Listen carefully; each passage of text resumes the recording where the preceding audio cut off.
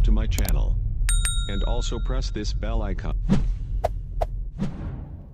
Assalamualaikum warahmatullahi wabarakatuh Masih bersama channel saya Japayanto Di kesempatan ini saya akan mencoba menjelaskan yaitu Fungsi dari balon antena UHF digital Yang mana ini kebetulan untuk antenanya ini udah saya buat di video kemarin Dan di sini saya akan menjelaskan untuk fungsi dari balon antena UHF digital yang berada di dalam komponen driven antena TV digital.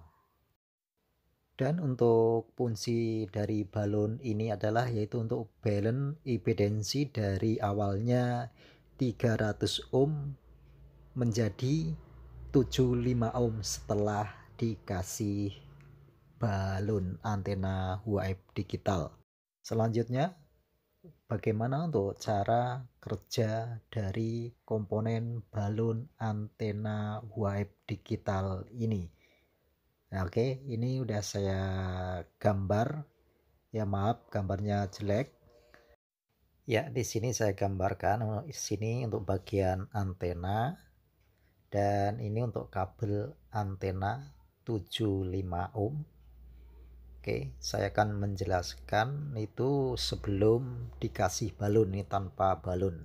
Jadi masih 300 ohm. Nah, di sini untuk penerimaan sinyal ini ke mana-mana ini. Kalau masih 300 ohm ini ke mana-mana. Jadi luber untuk sinyalnya nih. Jadi nggak keseluruhannya ini masuk ke kabel antena atau sinyalnya nih. Jadi masih luber ke mana-mana.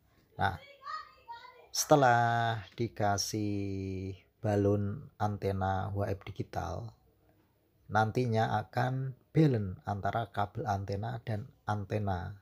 Jadi untuk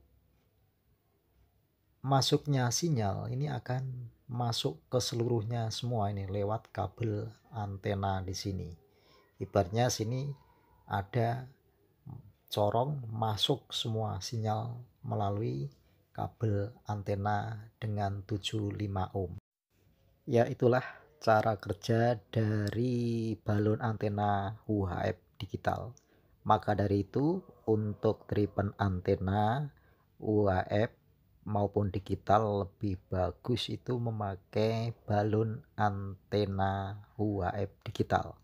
Supaya nantinya itu penangkapan sinyal lebih maksimal masuk. Inilah fungsi balon antena dan cara kerjanya.